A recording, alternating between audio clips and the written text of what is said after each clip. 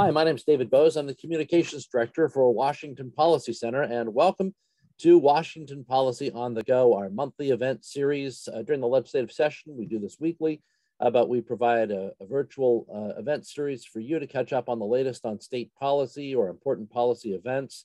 We interview our research directors, um, and occasionally we have special guests uh, to bring you the latest on state policy. Uh, you can also check out our blog for updated information and uh, we would urge you to share that information with your friends and family and others that you might know, neighbors that are interested um, in key policy events. And that's at washingtonpolicy.org. And you can subscribe to our free newsletter, our Friday uh, email um, that is free and, uh, and shareable. And you can get an array of information on the latest of what's happening in the state. Today, we're going to talk, tackle two things. One is Washington's increasingly expensive and unserious uh, climate policies with Todd Myers, our environmental director. We'll talk with him in just a moment. And then we'll talk about the impact, the policy impact of the election, including um, the impact of the election on issues like rent control, uh, workplace rules, um, critical race theory, and income taxes, all of which saw some action in Washington state. So we'll talk about those things uh, coming up as well. And then after we speak with each of these center directors, we'll have a Q&A section at the end. So at any point during uh, this broadcast, if you have a question, just go to your toolbox, your Zoom toolbox, there's a Q&A icon, two, two little conversation bubbles, click on that, ask your question at any time. Uh, and we'd urge you to write them down and, and put them in that, in that box, in that queue, so that you don't forget and we can uh, we can get straight to them uh, toward the end of, of this broadcast. So uh, with that, I'd like to bring on Todd Myers, Washington Policy Center's uh, director of the Center for the Environment, to talk about Washington's climate policy, particularly since the governor made a point to um, burn some burn off some carbon and fly off to fly off to Scotland to let us know how serious Washington State is, is getting. Um, Todd, um, what about the governor's trip to Scotland? What was his stated reason for going, and what was the stated reason? Um, what did he hope to accomplish? Yeah, so I think that you don't know it's a real climate conference unless everybody flies in in their private jets and flies in from all over the world. That's how you know. And and so when he does this and when he flies off, what's what's he hoping to accomplish? What what was his stated reason for for uh, attending? well, what he said was, is I mean, he constantly claims that he is a leader on climate issues, and so he has to be part of these discussions um, to guide, you know, American and worldwide climate policy. Um, but what he has announced are two things. First is um, that he is going to make the state uh, vehicle fleet 100% electric by 2040. He will not presumably still be governor um, in 2040, but he has promised that the state will do it. And the other thing he did was is, is work with what's called the Pacific Coast Collaborative, which is Oregon, California, and British Columbia, to announce that they were going to support clean construction. And what I thought was particularly interesting about that is one, he didn't need to go to Scotland, but two, um, there's a specific statement in there from the Premier of British Columbia saying that the best way to improve um, construction was by shifting from concrete and steel, where appropriate, to wood. And he pointed out that British Columbia has a lot of wood and a lot of timber that can be harvested to make this transition. So there are a number of groups, environmental groups in Washington state, who want to shut down timber. It's sort of an echo of the timber wars, you know, two, three decades ago. And yet we now are coming back where they want to literally stop all timber harvests on state lands in Washington state at the very time that the governor is signing an agreement that says we should be doing the exact opposite, which is using timber as a construction material because it's the most environmentally friendly. So those are the things that he has announced, neither of which requires that he be in Scotland, but he's there nonetheless, enjoying uh, some nice whiskey, I'm sure. Has the governor um, tried to clarify that issue at all? Knowing that you know there has been a movement in Washington State, uh, particularly among those within his own party, that have um, that has sought to shut down timber harvesting in, in Washington.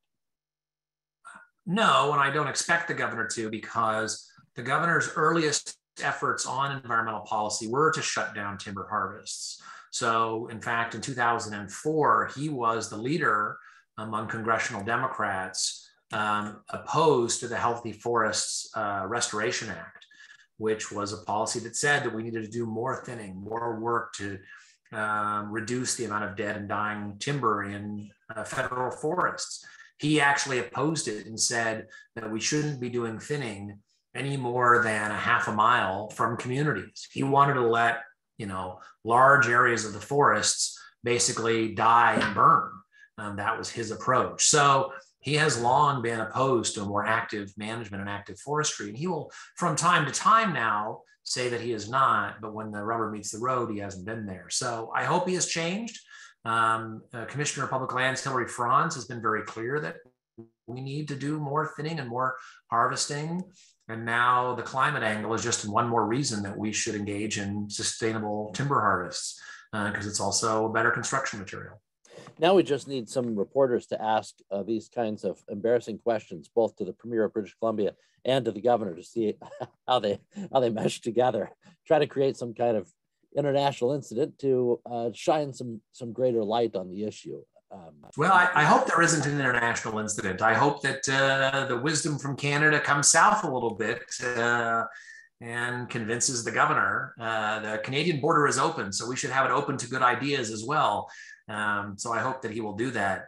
You, you ask about asking questions. So I was interviewed yesterday by NPR um, about the fact that the governor is over in Scotland um, touting his credentials as a climate leader. And I pointed out that, in fact, that Washington State has missed every single one of its climate targets. And the most recent data for 2019 show that emissions are going up, not down. And so his spokesperson, when, when was asked about that, she said, well, yes, we're failing. That's why we need more power. And so the irony is, is that the governor has consistently said that we should trust him because he is a leader on climate change, and that's why he needs more power.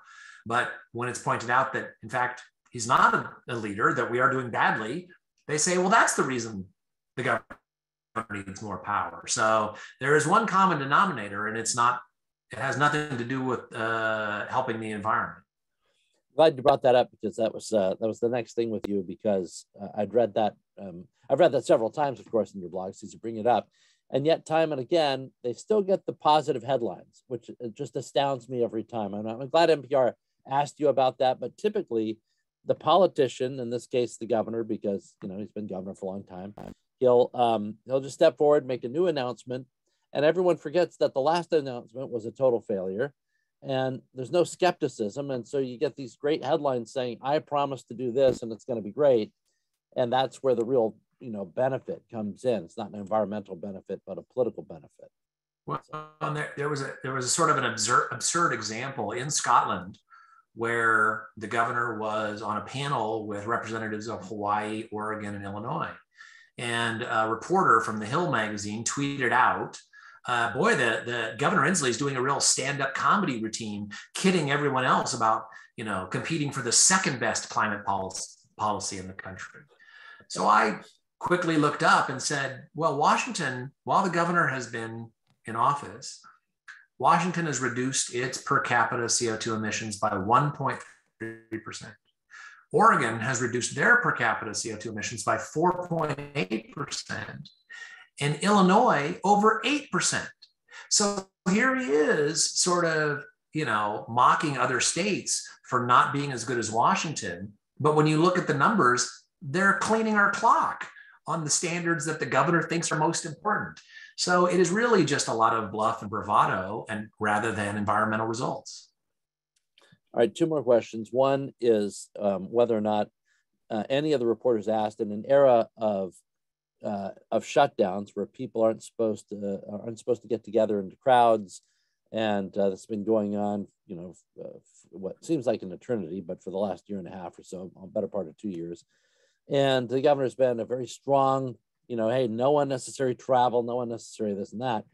Um, and as the the state legislature has met via Zoom or um, uh, or a GoToMeeting or what have you, um, and we're the host of numerous high tech companies that do the same thing.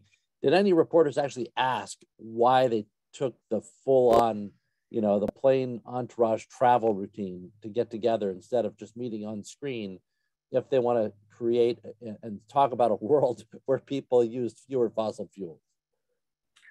Not that I have seen. I'm sure that people have confronted um, members about this very fact, and I have seen lots of people mocking them for that. I have not seen any Washington state reporters. They, the governor held a press conference yesterday, and nobody asked him about it. And maybe they will, but I doubt it. I mean, when he ran for president, he traveled all over the place, was asked several times, Will you be um, investing in projects that offset your CO2 emissions? Um, and they never answered. Um, and I doubt that they're doing it this time either. Um, they are um, somehow absolved um, from the standards that they hold everyone else to. Now, I could understand why the press would be quiet if they were invited along, you know, and they got a free trip out of it too. I don't understand why they're holding back now. It seems like an obvious question that everybody wants. And it's not even a partisan one. It's one where, where just a, a casual observer sees this kind of thing You've got somebody with elite status coming back and saying, this is what needs to be done. P.S. I'm at a luxury hotel in Scotland, being able to describe this to you. And then we wonder uh, why.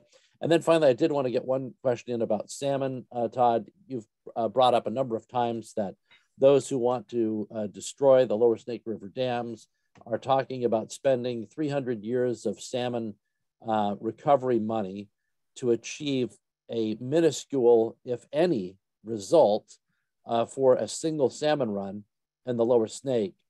Um, and yet the governor has come out, you know, more strongly since we last talked in favor of taking out these dams. What's the status of that? Well, what the governor, the governor has not said that he favors taking out the dams. He just wants to find, he just wants to study how we can make it happen, which is Sorry. a little bit of splitting hairs. A nuance, uh, yeah. that, yeah, that I think we can all see through. Um, but the irony is, is that last week, um, the Puget Sound Partnership released its uh, report on the state of Puget Sound. Uh, not surprisingly, Chinook are not recovering in Puget Sound. They were listed as threatened in 1999 and have basically made no progress since then. Uh, meanwhile, um, Chinook populations, and the one of most concern is the spring and summer Chinook and Snake River, um, are, are, higher today than they were in the 1990s. The average uh, the last decade was higher than the previous decade, which was higher than the previous decade. So they're moving in the right direction, albeit slowly. Um, and the fact that there is there are people willing to spend $33.5 billion on the Snake River when we spend $100 million a year on everything else in terms of salmon recovery, I think just shows how completely out of whack our priorities are. Spending money isn't the be all and end all but we do there are projects that need to get done. And the fact that we are willing to spend 330 years of funding on one small area rather than on the area that is most important or the salmon are struggling most in washington state that is most important to orca and frankly is most important to commercial fishermen i think just shows you how politics has completely overwhelmed the science um, and reality of this situation and it's very frustrating and just to put a you know final point on it, um, all of the people who claim that the salmon stocks are about to go extinct on the Snake River, um, I offered to bet them. I said, "Great, look, we've had two years now of increase. There is a cycle." There was a down cycle. We're coming back up. We've had two years of increase, and all the signs point to an increase next year. But if you think that the salmon are going extinct, then bet me. If you think that they're going to decline next year, then I'm willing to bet. And I offered to bet all sorts of the biologists and other activists who claim that that's what's going on. And do you know how many of them bet me? Zero. So it's it's uh, uh only uh, two people bet me. One is an activist, um, and one is uh, the editorial page editor for the Lewiston Tribune um, who only bet me $5. Now, I'm not complaining about $5. At least he was willing to put his money where his mouth is, unlike a lot of these other environmental groups like the Washington Environmental Council and the River Keepers and these other biologists. They know the truth, and that's why they won't bet. But politics, unfortunately, on these issues when it comes to salmon, is really detached from the truth, and it's frustrating. Thanks, Todd. We'll get back to you during the Q&A section, which uh, politics is a good way to end it, since now we're going to talk about uh, the politics of the last election. We just uh, had, had an election. We're going to talk about the policy impacts uh, of it. And we'll start with Liv Finne, our Center for Education Director, who's been writing a lot about critical race theory and the uh, challenges that that presents to parents and to equity and fairness um, and non-discrimination in Washington schools. Liv, thanks for coming on. Um, it actually became the biggest issue in politics uh, really over the past week because it's widely attributed uh, as uh, one of the deciding factors uh, that moved Virginia, which has been a, a purplish, if not a, a, blue state of, of late, um, moving over solidly into the Republican camp with a major upset in the governor's office. Why do you think uh, critical race theory um, has caught on so strongly among parents and, um, and, has, and has, has captured the public's imagination so much? Well, I think it's because everyone understands when they find out what's really in it, especially parents, when they actually find out that the schools are teaching their children uh, that their identity is based on their race and sex and not on their individual humanity. Uh, every parent of every background and every color understands that that is an attack on the integrity of their child. And so uh, this is this this was one of the big issues in the Virginia race. And it all came out of Loudoun County, where there is where there were mothers that were finding out, you know, through the COVID school shutdowns, what the kids were actually being taught. Mothers and fathers, they call themselves mama bears and papa bears. They came to these school board meetings and started complaining and saying, "Why are you doing this to our children?" Then they were mistreated by their, you know, duly elected school boards, and you know, one father was arrested for speaking out against what was happening in the bathrooms in, in one of the high schools there. One of his, his daughter was assaulted. And so the, the mistreatment of parents by these by this education establishment forcing this uh, this theory that that is wildly unpopular among parents and the, anyone who knows what is in it. People don't like it because it segregates children by race. It's, it's, it, it teaches that white children are part of the oppressor class and everyone else is oppressed and can't get ahead in this society. This is it goes straight at the base, you know, the underpinnings of our of the American dream of our founding that all men are created equal and you know entitled to equal treatment before the law, before the before so so this this really all the polls are showing that that that the mothers that voted for uh, Democrats in the past switched over and voted for the Republicans because uh, they like what the Democrats were doing with the school system. It's it's an amazing thing. It's and, and here in, in Washington State, there I have noticed there are school board uh, members that were running on the platform got elected and and deposed some incumbents who were putting this through. So it's it's uh, filtered here to Washington State as well. Yeah, I was I was going to ask about that, but um, I've also read a number of comments uh, from left wing commentators um, saying, well, you know, this is a, a giant distraction because it's not taught in public schools anyway. And I see that in Washington State too, where you know there's nowhere in the curriculum, there's nowhere that says we're going to teach critical race theory, and I've, and and this has kind of captured um, the attention of a number of people, uh, usually left of center, but who teach in schools on my social media pages, and they're saying, well, look, this is a non-issue. We don't teach it. It's it's not even in it's not even the curriculum. My, my you know they make reference to the uh, WEA or something telling them that it's not there. What's your response to that? Well, it is, it's shocking to see reporters who are supposed to be telling the truth to the public deliberately leave out what is in critical race theory content. This is a lie that is being promulgated to try to change the subject, but it is a fact the critical race theory. Okay, so this is the this is the game they're playing. They're saying, oh, the course critical race theory that is taught in law schools is not being taught in our elementary schools and high schools.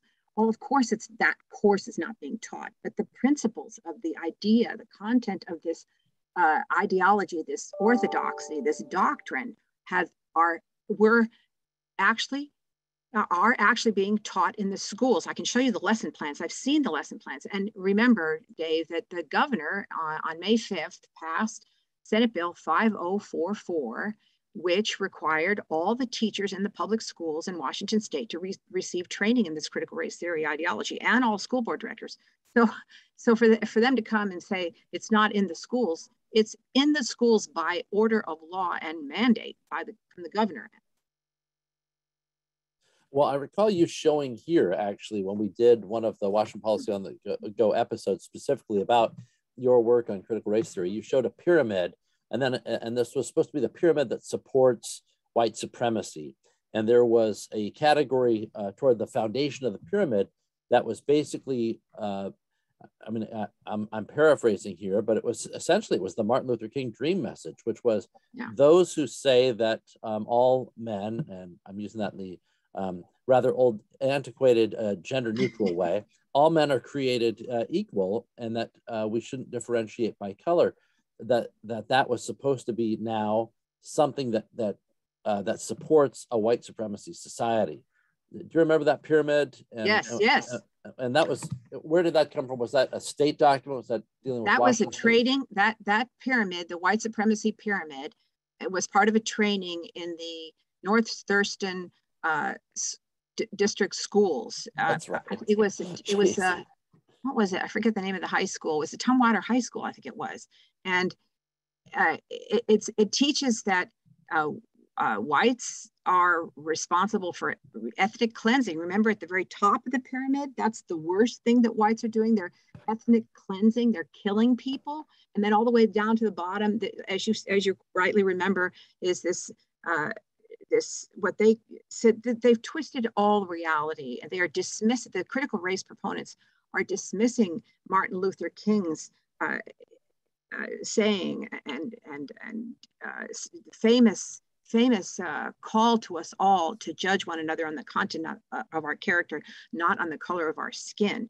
And he's now being dismissed as critical by these critical race theories as part of the white supremacy, just like you see people, you know, like Larry Elder running for, you know, to, to running for governor in uh, California being called a white supremacist. And, and you're seeing uh, the woman, uh, what, what is her name? Um, the woman who just wrote, uh, who won the lieutenant governorship, Sears, Winsome Sears. She's a black woman. She's run on the on the on the on the platform that critical race theory is bad and that that our society is a good society, that the American dream is real. She's she she embodies it. She's been called a white supremacist by liberal black professors. So it is it is intended to foster suspicion and division and discord critical race theory, and it is happening. I mean, there's an article in today's Seattle Times about what's happening at Ballard High School. Did you read that article? It's it's appalling. The some teacher was teaching uh, Mary Shelley's Frankenstein, and she misspoke, and now she's been attacked as a racist. And the principal transferred the student, and he's now being called out as as uh, also retaliating against a student who's miss who's who just swallowed the line about this oppression that uh, whites are trying to oppress him and now is spitting it back to attack their teachers. So this is really bad situation uh, and we're going to see more of it because it sets you know people against each other on the basis of race and and and it is hateful illegal racist idea which we need to stop i have an article here from Education Week saying 25 states have already introduced legislation to try to stop this. There's, there's uh, national groups forming to try to uh, give support to people courageous enough to say no. I've heard that there's going to be uh, a bill, a couple of bills introduced in the next legislative session that to uh, to uh, repeal Senate Bill 5044. So you know we'll see what happens. It's a big issue. So, so uh, with Virginia had a heavy uh, impact. Um, right now, Washington State, um, as you point out, there's been a number of school boards that may have school board memberships that may have been decided by that issue, or it might have drawn people into those those elections. Um, but I think it's fair to say our election wasn't. Um, we didn't have the substantive substantive uh, races as, as much um, that were being contested. Uh, so we'll have to wait and see what happens there. But there was another issue that kind of came up on accident during this controversy in Virginia that that does apply, I think, to Washington State as well. And that was the question that was offered to uh, former Governor Terry McAuliffe, where he said, "I don't want." I'm paraphrasing again, but basically he said, "You know, I don't think that uh, parents should be telling us what to teach in schools." Mm-hmm. And this comes back to who's in charge of the child's education. And this has been kind of the heart of the matter for Washington Policy Center and for a number of parents out there who are dealing with schools shut down for the better part of uh, of the past you know two years, shut down or limited in some ways, where parents are realizing, wait a second, I need to get, uh, I need to advocate for my child's education. I need to direct my child's education, and I'm being told that the system is more important than my child's education. And, it, and it, there seems to be a, a new awareness anyway that um, that really parents should have. I think people kind of assumed that they had this authority that they don't they don't really have that, that they're kind of their child is part of a system. There's a great dedication to the system not as much dedication to the students individually. Absolutely. I mean you hear these mothers that have been speaking on the news channels about why they voted for the republican. They're saying that they were you know remember for the last year and a half the school system basically foisted the job of educating the children onto the parents. And and parents had to scramble. And many parents found it this very difficult to do because they were trying to hold down their own jobs. They were expected to you know supervise remote learning over their over the computers. And so on the heels of this then this happens in virginia and they're and they're treated like dirt. Literally this is what the mothers are saying. They were treated like dirt by the school board by all the institutions above that they they tried to work through the system including the existing governor Northam, who wouldn't meet with them, and and they were they were shut out. And so this is why that statement by uh, Terry McAuliffe running uh, against the uh, Glenn Youngkin just took off when he said parents do not have a right to direct the education of children. He was just expressing what the public education establishment thinks that it's they think that they own the children, they get the money, they decide what the children will learn. Well, they they're they're going to hear from parents now because parents have seen that the system does not work to serve them it serves itself and that's why uh, we just published a study uh, uh, describing the the surge in school choice in other states across the nation 16 states have expanded their school choice programs to give parents an option so if they're not being served properly by their public school system to go into the private school system so that's, that's a good, that's a positive move. Yeah, it's another issue that's it's uh, essentially nonpartisan. It doesn't have to be partisan because you can have, you know, uh, people, uh, uh, well, plenty of people involved in the current uh, elections have been uh, self-identified as Democrats, saying, "Look, this is my number one issue. I I need choice for students. I care about the direction of education, and this is going to change." So, you know, um, Dave, let me let me remind you about what happened in the 1920s. Back in there's a U.S. Supreme Court case which which was brought by uh, private schools when the state of Oregon tried to prohibit the education of children in private schools. And that case went all the way, they tried to shut down every private school, prevent people from educating their children in private school. That went up to the Supreme Court, and the, and the Supreme Court held this that the child is not the mere creature of the state, that it is the parents' right to direct the education of their children. Now we're going to hear that language many times again.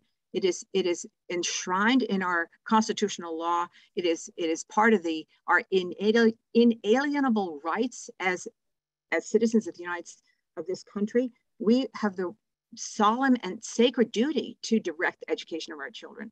And no no school official shall tell us, you know, uh, what is right and what is wrong. We know what what should be done. And, and uh, this is a movement that's going a great distance. I can feel it coming. Parents are fed up. They, they have a right to better from the system of public education and, and they are being heard now for the first time in a long time. Well, um, you know, as they say in politics regarding McAuliffe saying, you know, that, uh, that he doesn't think parents should have the right to direct their child's education or shouldn't have a say in what their children are taught. Um, you know they're calling it a gaffe and and uh, in politics a, a gaffe is when you speak uh, directly and truthfully to the voters. So so i suppose if you use that uh, definition that's long been established as a joke it's a it's a gaffe but otherwise i think he was speaking pretty openly about his own worldview there. I don't think it was a gaffe. I think it was he was just honestly saying what the public school system thinks yes that's that was my point yeah yeah yeah yeah yeah um, all right, thanks, Liv. We'll get back to you with the uh, Q&A section. Let's go okay. to Mark Harmsworth, who is our director for our Small Business Center. He's been tracking some of the controversial issues, the results of those issues in Bellingham. Uh, he wrote one of the citizens' guides uh, on those issues. Two big issues in Bellingham: one dealing with rent control, the other dealing with workplace rules and and uh, and your employment and what your hours can be and how your schedule is formatted and how long you get uh, to to be aware of your schedule. Um, and basically a micromanaging of of, uh, of private employers by the government. Um, what's uh, what uh, the let's talk about rent control first and narrow it down, Mark. Um, rent control is going down in Bellingham. How close is it? Yeah, so the rent control initiative, which is initiative one, uh, has about 400 votes in it right now. Um, it looks like it's going to pass. Um, it started out with a much wider margin on election night, um, and now again it's getting a little close there. But um, the, the the issue here, and both of there's actually four initiatives. So the rent um, control will pass. I, I, am sorry, I, it's go. It, it, will fail. It will pass. fail then. Okay, excuse me. Yeah, Scared me. I was like, what? Yeah. the last I saw it, this is a big news. Yeah, yeah, yeah. So okay, we're four. So the, the, no votes are up by 400 right now. Yeah, so both the initiatives we're talking about today are bad policy, and we want to see both of them fail, and they both are failing right now. So, uh, thanks for the clarification there, David. That wouldn't have gone down so well if we let that one fly. Um, but the four initiatives there are really just a microcosm of what went on in the legislature last year. Um, a lot of these ideas were pushed at the state level, and they're going to try it again, I'm sure, in the future. But I'll talk about some of the impacts of rent control specifically, since you've mentioned that just now. Uh, basically, this was imposed. Um, think of it as a relocation assistance program. So the the owner of the property, the property owner, would have had to have paid to relocate the renters. And this is after a moratorium now for rent, you know, eviction moratorium, which has been put on us by the governor for over a year now, where you've had property owners and most property owners. And for some reason, the state seems to think, or at least the bureaucrats of the state seem to think they're multi-billionaires with thousands of properties and megler corporations and, and condos in Bellevue. That's not just that's just not true. What it is, it's families that grew up in a house were lucky enough to be able to afford to move to a new house and rent their original home. And that's the the type of person you're talking about. So they've got two mortgages and then you put this moratorium in place and it puts a lot of stress on those, um, especially if you have a bad renter. And a lot of renters, they've worked with their landlords to work it out. But on top of this, now the city of Bellingham, which is a little bit of a liberal enclave up there, um, is pushing this uh, rent control process. And we put a policy out about this uh, 90 day freeze on rent increases, 8% over any 12 month period. And there's legal potential uh, penalties are up to $7,800 per rental unit if they kick somebody out who's not been paying the rent. Um, and then there's this relocation piece as well.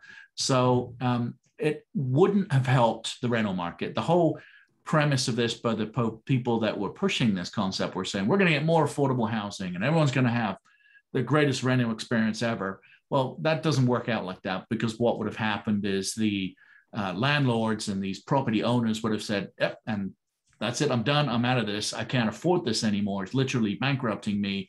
They put the house back on the market again, sell it as a house, uh, a non rental property, and that reduces the amount of rental inventory that's available, which then demand and supply pushes the cost up. You know, the government coming in, putting more in control just exasperates the problem. So, really, really bad piece of policy. Thankfully, it's failing by, like you said, 400 votes.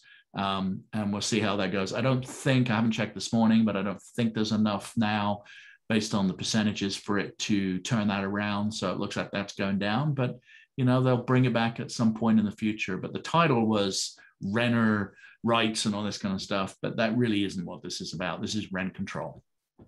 Yeah, they don't like the control word there. It probably doesn't pull as well, but it, it is interesting to me as a concept. And when we see something come, you know, even relatively close, it's it's you know, as Jason will tell us, I'm sure, uh, coming up in a few minutes, he's he's like living the the political version of Groundhog's Day, where every year he has a new income tax issue to deal with, no matter how many times the voters bat it down, because it's it's a desire. And and when a policy like this comes up, where you're able to promise something for free, you know, you're telling people, hey, I can make your rent go down by just telling this third party that they have to pay for it. And, the, and they ignore the unintended consequences.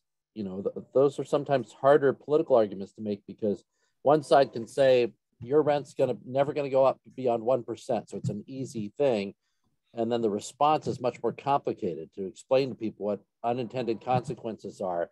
You know, and if, if property values, for example, are going to go up by 30% a year, but your income on that property that you've invested in can only go up by 8% maximum, um, you know, it, all of a sudden it becomes a, a, a money, there's an opportunity cost there that loses you money keeping it as a rental, you know. So, but but that's a harder and more complicated uh, uh, argument to make for for those who are not watching those things. So, um, but anyway, we we've got the concept there. It seems to be going down. Uh, we both expect to see more of that coming up in the state based on previous statements. What about uh, workplace rules? That seems to be kind of a new fascination with the left, which is, you know, hey, um, now we got to figure out how to how to control people's schedules and make rules uh, regarding how employers uh, go about hiring people and what hours they can have and so forth. Describe what's happening with that issue in, in Bellingham and, and where it's going to go. Yeah, and again, this um, this was brought up at the state uh, in legislation earlier this year, and then I think Bellingham's being used as a test area for this. Um, basically, what it does is uh, requires employers to do some scheduling way out in advance. So um, it sounds fine on paper, because you think, hey, I'd like to know when I'm going to work. But if you imagine, put yourself in the position of the small business owner, he's got a, a, a corner store and he's trying to schedule the staff. And in, during the Christmas season, uh, what this basically will say is, look, you need to say with confidence that your staff within the next two weeks and have these scheduled hours. And on top of that, you have to estimate when you hire them how many hours they're going to work for you during the year, which is incredibly difficult to do. But within that two that two week window, if for example there's a snow day and nobody's coming into the store and you've scheduled three people to come in and serve Bundt cakes at your little Bundt store, then um, you have to pay them half pay even if they can't work. So what that will do is an employer will look at that and say, well, I'm not going to risk confirming hours until the last minute when I know conditions mean I can bring somebody in, which reduces the hours for somebody to work, which is not what the initiative was uh, targeted at. It was said that it's going to be reliable, reliable work hours. In fact, it has exactly the opposite, um, the opposite effect. And it increases costs because the employer now has to pay more when they miscalculate, reducing the amount of money they have for their employees. On top of that, there's a hazard pay of $4 uh, per hour for emergency declarations. It does not describe if that means at home or at not, or not at home. So you've got the concept that Seattle pushed, which arguably has failed. We've seen QFC close down in Seattle when they tried doing this uh, on Queen Anne, where they came in and put a hazard pay on the employees, and QFC said, oh, no, we're done. We, we can't do that anymore. We just can't afford it. And that store closed down. You're going to see the same thing in Bellingham. You'll see businesses that are thinking about relocating to Bellingham will go, well, if we just go the other side of the tracks, we won't be subject to this. And thankfully, this one's going down in flames. You know, people can see right through this and understand that um, the the booking of these hours in in advance like this will absolutely destroy small business, and it's just a war on the the entrepreneur who's who's trying to make a living for himself and his family, and as a result, he hires a bunch of folks in town and gives them jobs. I mean, it's a great opportunity. And it seems everywhere we turn, you know, liberal policy is putting its its boot on the neck of these small businesses and preventing them from actually doing what they do best, which is grow our economy. Thanks, Mark. We'll get back to you in the uh, Q&A section there and, and uh, have more on Bellingham. Let's move quickly now to Jason Mercier, our Center for Government Reform Director. Uh, Jason, um, we had one income tax issue on the ballot this uh, this time. It was Yakima, um, trying to decide should we or should we not ban a local income tax. Um, tell us what happened. So, Dave, we actually had two income tax measures on the ballot: one locally in Yakima and one statewide. I forgot about the state advisory. You're, you're right. So the local one took that for granted. The local one was a charter amendment. Yakima is a charter city, and there's only a handful of them in the state. And basically, a, a charter is the city's constitution. So they amended their city charter 78%. So it was pretty close election. Mm-hmm. 78% of voters voted to ban a local income tax in Yakima. And this is following what Spokane did in 2019. Another charter city, that one was only 72% of voters did that. But basically, what that means is for those two cities, there will be no local income tax unless they sign off on it, because a charter amendment will require another vote of the people. And these local income tax bans, they've basically been catching fire here since the legislature passed the capital gains income tax. Last year, there were only three cities with this type of prohibition. We are now up to 11. And in fact, two counties. Just this morning, Franklin County commissioners voted to ban a county income tax. They joined Yakima County. So, I, you know, I know that this is uh, going to be fair use. You don't have to worry about any copyrights. But Olympia, can you hear us now? We're up to 10 statewide votes, 11 if you do the advisory vote, which we'll talk about in a minute. You've got 11 cities now saying, no, really, we don't want an income tax. At, at some point, you hope that the uh, state officials will get the message and move on. Well, the, the major paper in Yakima, if I remember correctly, uh, called this a red herring, uh, saying that this was not, this is uh, the kind of thing that's a great boogeyman of income taxes. Nobody's talking about an income tax. What a complete waste of time you know, I, have never understood that argument because it, it doesn't take me very long to mark my ballot, you know, whether I agree or disagree with something. It's just filling in a small circle usually or drawing a line. But, um, you know, I, I think when you've got 78%, it's also sending a message to that attitude too, um, which we also saw at the state level when we knew full well numerous people arguing against uh, taking a stand against the income tax were in fact working on behalf of income taxes. But on the state advisory vote uh, that you bring up, some would call it the advisory vote on the excise tax. Uh, the IRS and every other state in the union, and you would say it's about an income tax, but you know, who's to say? Um, how, how is that advisory vote faring? So these advisory votes are a leftover of, you may recall, Washingtonians passed seven separate times a ballot measure to require a supermajority vote of the legislature to raise taxes. Again, just like we banned income taxes 10 times, seven times, strong majorities of the state said, we don't want taxes to easily go through on a party line vote. We want broad consensus. But ballot measures are only good for two years, and the legislature would routinely suspend that restriction with a simple majority vote and then raise taxes. So the last time that we voted on this, anticipating the legislature suspending this requirement, the ballot measure included these non-binding advisory votes. And if the legislature is going to raise taxes without a vote of the people, we're going to at least going to get to weigh in on it with a non-binding advisory vote. Now, fast forward a couple of years, and this was actually, you know, our current Speaker of the House is uh, Speaker Jinkins. When she was a freshman lawmaker, she called this her freshman project. Her freshman project was to sue Washingtonians, to sue the voters for this tax restriction and, and a couple of her colleagues put together a little show on the floor of the House and set up a process to where the legislature sued voters for restricting their ability to raise taxes. And surprisingly, the Supreme Court agreed and said that supermajority requirement is unconstitutional. So, though the court struck that requirement, it left in place these advisory votes. Now, a lot of people will say these are non binding, they're meaningless, voters don't make any distinction with them. But I will tell you, they, we've had a couple of dozen of these votes, which is an indication of how often Olympia raises taxes in the past 10 years. And on 10 occasions, the voters actually said, you know what, maintain that tax. We're voting to maintain that tax you passed. So they make a distinction. Not so on this income tax, this capital gains income tax advisory vote 37 being recommended for repeal by 61% of voters statewide. And I guess the last point on this, where this carries a little more weight than in prior years. And in fact, you saw the Seattle Times editorial page, who was no fan of these advisory votes, actually recommended to voters vote to repeal the capital gains income taxes. We need to send a message back to the legislature on how they adopted this. As if you recall, and this is a, a quote from Democratic Senator Mark Mullet, who actually voted against this tax. But when he was giving his floor speech why he was voting no, his, his statement was his party was moving heaven and earth. Heaven and earth is what he said to deny Washingtonians their right of referendum to overturn this new tax. The legislature put a fake emergency clause on it. So it's pretty clear what the legislature thinks voters would do with this. And now with advisory vote 37, we, we see they were correct. There is not support for this.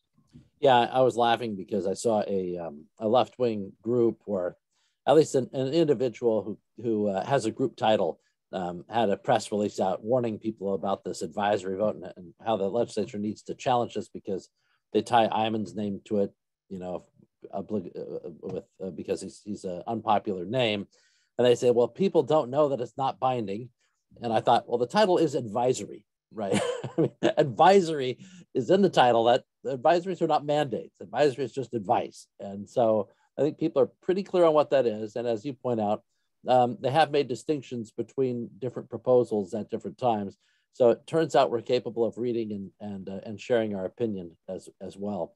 Let's get into the Q&A section. Uh, for those of you who want to submit a question, you can do so at any time.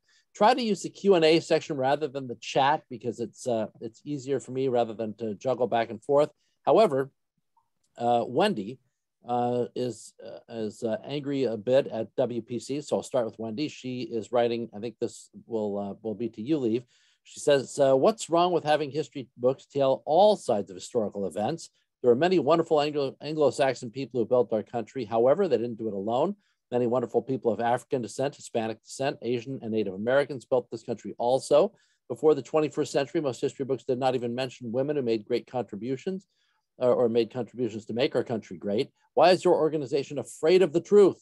Many people who were discriminated against still overcame obstacles to make outstanding contributions to our country, from Japanese Americans who volunteered in the military during World War II to women as mathematicians, enabled the US to be the first in the race to the moon. They're not mentioned in history books. The US is a wonderful country and should celebrate all the people who make it great.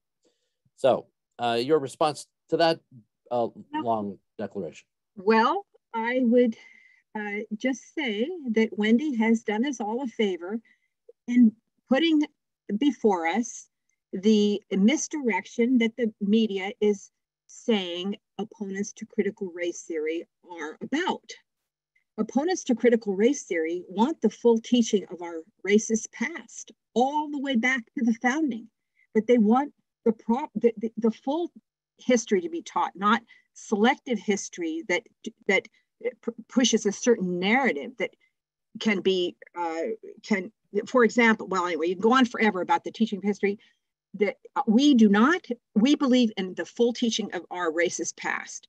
It is a falsehood and what I'd like to ask Wendy is why does she support the teaching of racism to children? Does she support segregating children by race? Does she support teaching children that they're bad because they have white skin or that they're never going to make it in our society because they have brown or black skin? Is that what Wendy supports? I very much doubt it, but she doesn't want to talk about that. She wants to change the subject. And the fact of the matter is that this is what is in the schools now even if the newspapers don't report it. It is in the schools. I'll show you the lesson plans, and we need to get rid of it. I'm kind of fascinated because, you know, I, you can see from the gray in my beard, I'm not a spring chicken anymore. However, um, it doesn't seem like that long ago that I was uh, back in school. And we did learn about the internment of uh, Japanese and slavery and other things in, in high school history. Um, and I think that those are important things for uh, kids to learn about at an age appropriate level. But what you're talking about, Liv, is um, is this idea not not historical events, but this idea that there are attributes to the human skin that make one an oppressor or oppressed, and that's where uh, the segregation and this ideology. Um, you know, that's where you're drawing the line.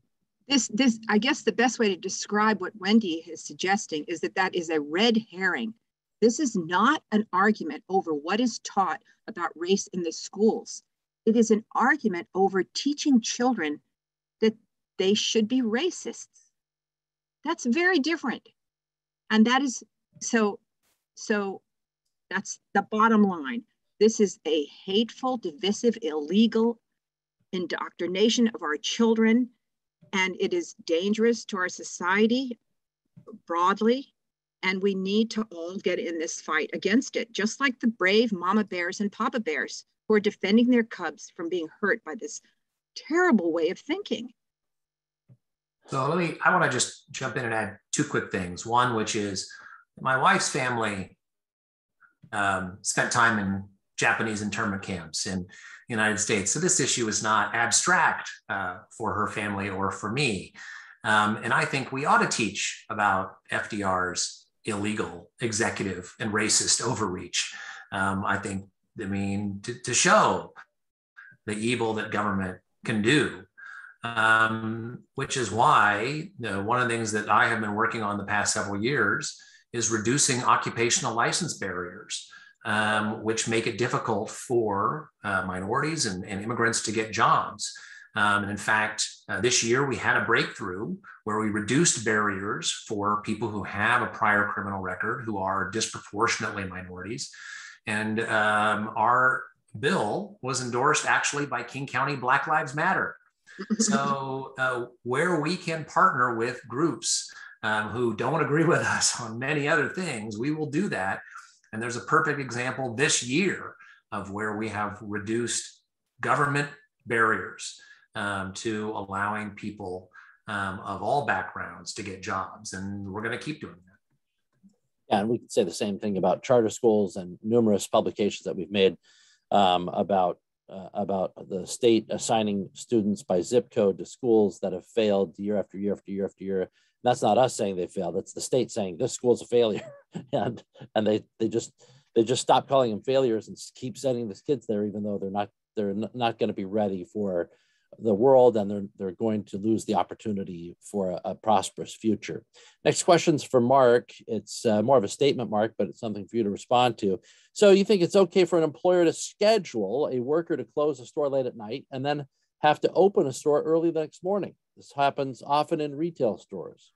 And it does. And most of these employers are going to be quite reasonable about understanding that they won't schedule the same individual the next morning unless they want to work. And that's the whole point is given the choice back to the employee to say hey if i want to pull a double shift because i need a little extra money i'm able to do it. Instead a lot of these initiatives what they're doing is putting a box around this and saying no you can't schedule this you can't do that you must have all these types of breaks. And we're way past that from the you know the early 1900s when people couldn't take breaks. Um, but it puts this restriction on both employers and employees where they can't work when they want to. What happens if you only work two shifts a week and you just happen to want to do those two? And 99.9% of employers are totally reasonable with this. And there's already labor law in place that protects this type of thing. So these initiatives for a lot of these types of restrictions are just totally unnecessary. Glad you brought that up, Mark, because the first thing I thought of was uh, when I was in college, I was uh, working at Walmart and um, and one of the things I used to do was close, I had the closer shift on Fridays and the opening shift on Saturdays because I needed to work as much as possible when I could work, you know. So I would ask for that kind of, of shift so that I could maximize my weekend hours so I could study during the week.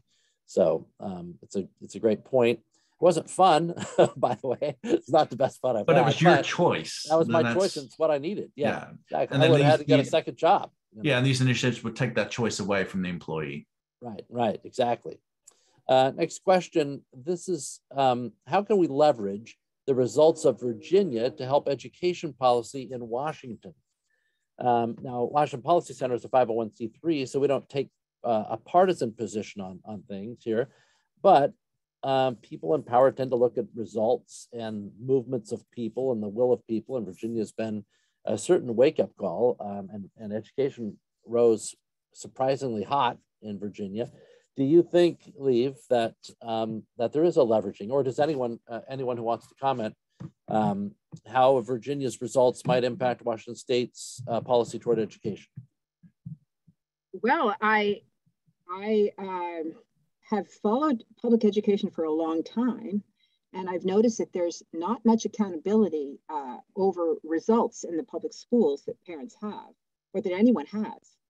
Uh, and so this election in Virginia, where a, a, a governor was elect, elected on the strength of, of suburban women and men uh, who voted for liberal Democrats in the past, now voting for a moderate Republican uh, on the grounds of education should send a chill through uh, states like Washington State, where that is a one-party state for many years. This is, uh, I think that that uh, there's a real possibility that finally someone will listen, and because of the threat of losing an election.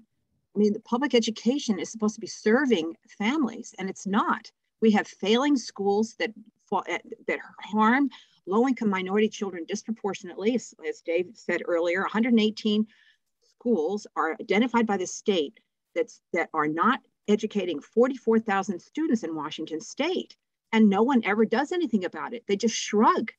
but and, and that's because there's no accountability and the power structure we have with the unions controlling many of our elected representatives uh, block block efforts to expand charter schools options for children and that that is something that everyone is now aware of because parents are speaking out across the country that we need to we need to parents need to have more power to direct the education of their children.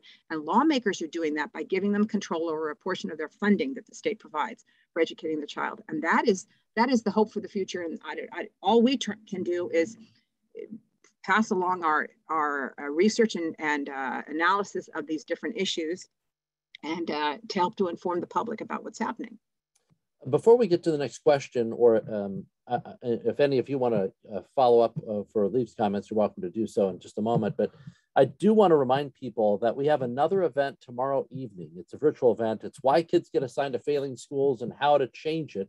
A conversation on education policy with Black Minds Matter founder Denisha Merriweather. Uh, she is the director of public relations and content marketing at the American Federation for Children and founder of Black Minds Matter.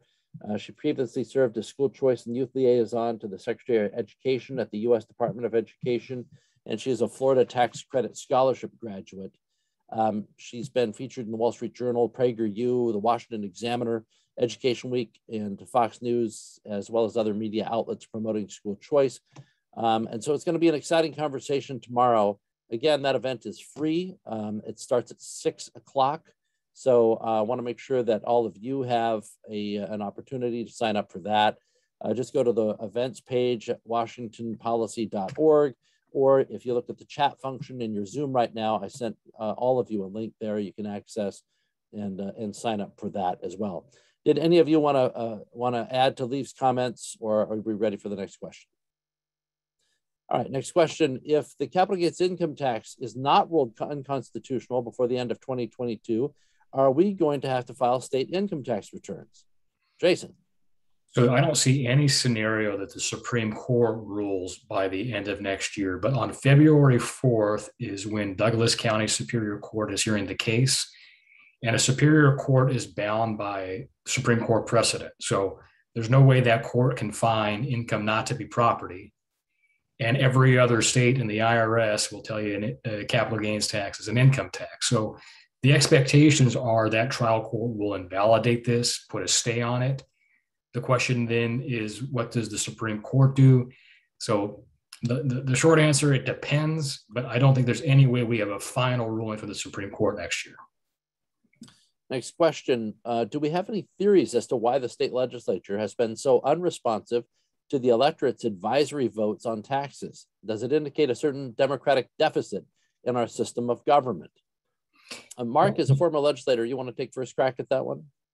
Yeah, I mean, many legislators get elected with all these ideals and and things they want to run on, and so it's um, what you see is when the uh, when the population effectively votes against the ideal that they think they were elected on, uh, that's when you see a lot of the indifference. I mean, there's also this sort of group mentality between the caucuses as well. So, you know, Republicans and the Democrats down there, and they they sort of stay together. You've seen that, and they vote on different things.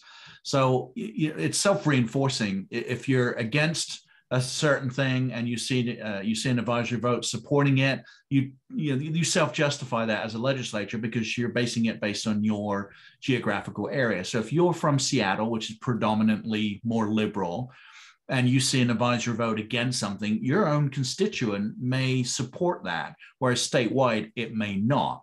And so that's why you see a lot of the indifference, particularly in uh, towards taxes from the more liberal areas. And then Eastern Washington is obviously against a lot of these taxes too.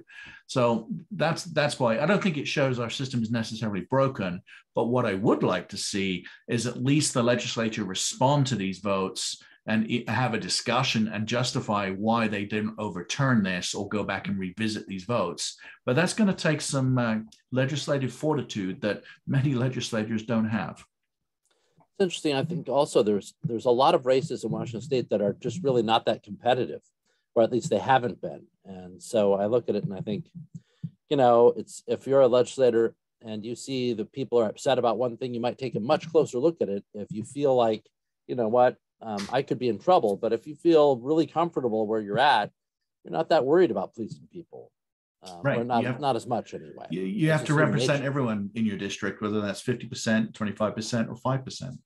Hey, Dave, I know we're bound on the clock, but to quickly pivot on the, the non competitive races, we are still waiting for the redistricting process to be approved. It is looking unlikely the commissioners are going to come to an agreement. So expect the state Supreme Court for the first time to, uh, in the words of the Chief, Chief Justice, get out their crayons and draw the state maps. I hope it's not crayons. Well, that, that should be interesting.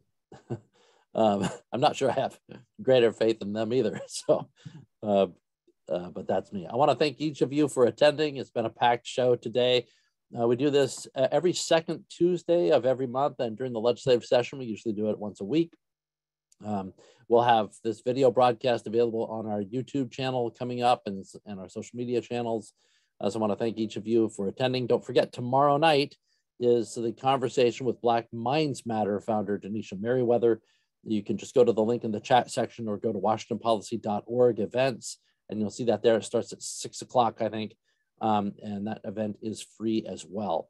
Thanks so much for attending, and we hope you enjoyed this episode of Washington Policy on the Go.